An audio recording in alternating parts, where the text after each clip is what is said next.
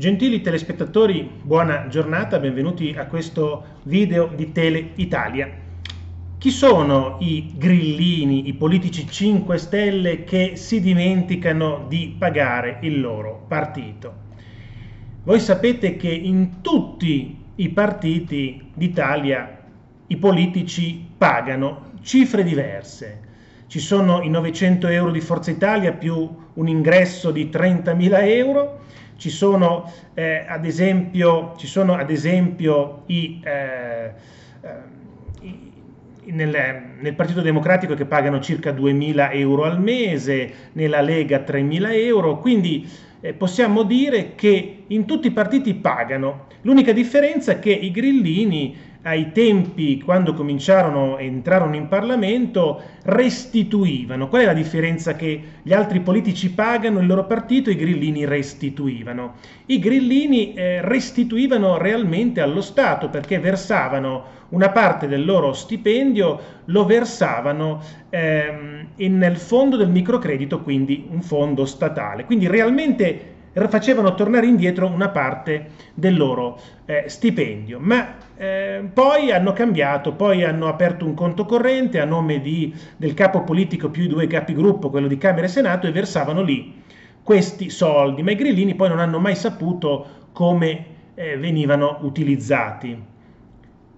Ma realmente non importa come venivano utilizzati questi, eh, questi soldi, perché ehm, perché anche negli altri partiti non è che gli altri partiti dicono esattamente dove, eh, dove vanno questi soldi, perché questi soldi servono alla, a far funzionare il partito, alla campagna elettorale, i ristoranti, gli alberghi, i comizi, tutto. Sono spese di rappresentanza che utilizzano i eh, partiti. Ma i 5 Stelle hanno cominciato a non pagare perché? Perché i 5 Stelle hanno il vincolo del secondo mandato. Cosa vuol dire? Che quando eh, arrivano come politici eletti in Parlamento, a Montecitorio e a Palazzo Madama, a quel punto eh, hanno un patto con il movimento, anche scritto, dove loro devono restituire ogni mese 2000 e 200 euro, restituire nel senso dare al partito, e 300 euro per la piattaforma Rousseau. Ma molti non pagano, ma perché non pagano?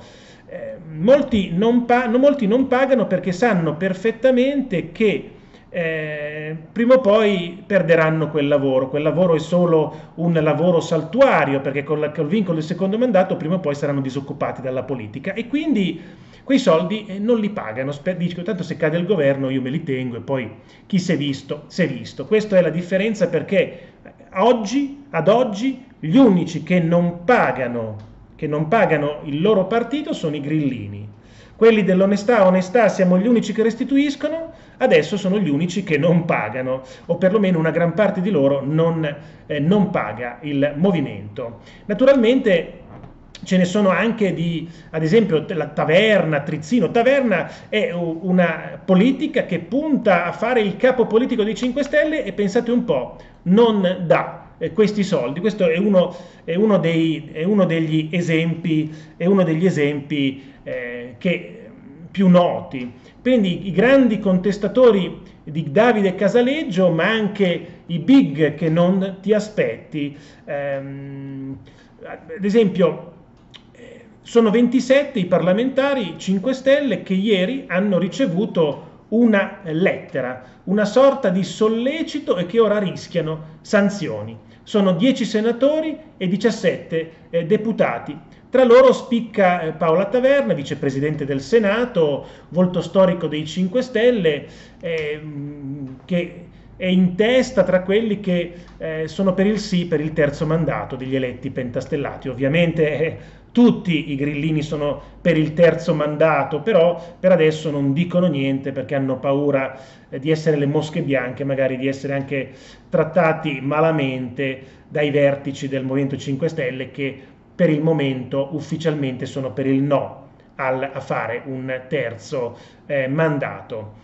E così tutti i ritardatari delle restituzioni, chiamiamole così, ora hanno pochi giorni per saldare, altrimenti scatteranno i provvedimenti decisi dai probiviri, diversi a seconda dei casi.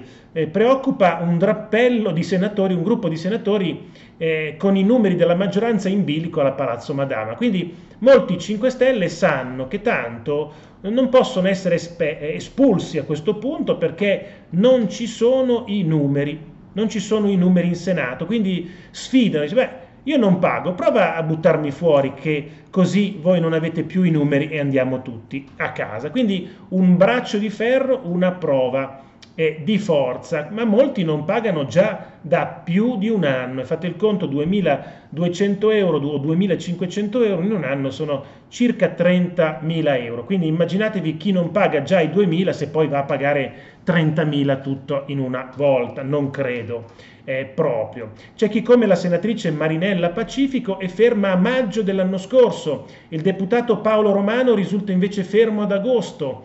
Tra i destinatari delle lettere inviate c'è anche Emanuele Dessì e Giorgio Trizzino, molto critici con Casaleggio. Molti anche i parlamentari al secondo mandato, come Arianna Spessotto, Michela Montevecchi, Giulia Grillo, Daniele Del Grosso, figurano tra i ritardatari.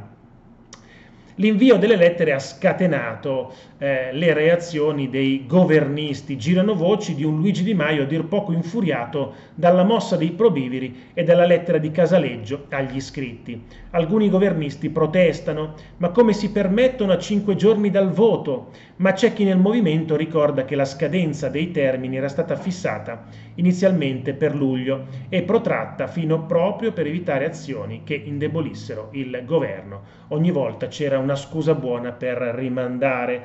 Voi sapete che Casaleggio è intervenuto dicendo che, eh, visto che molti non pagano, perché i grillini politici non è che non pagano solo, non è che non pagano solo il loro eh, partito, non pagano neanche la piattaforma rosso che sono altri 300 euro.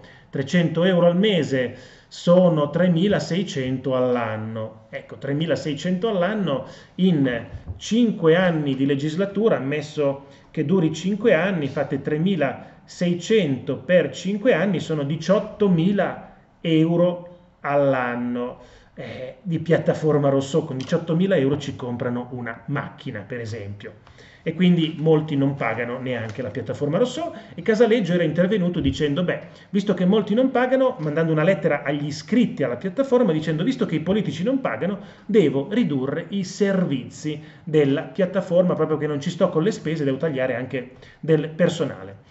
Io vi ringrazio per avermi ascoltato, vi invito ad iscrivervi al canale, l'iscrizione è gratuita, siamo anche in Facebook nella pagina Tele Italia. Grazie e buon proseguimento di giornata. Ci vediamo tra, tra poco in un altro video. Arrivederci a tutti.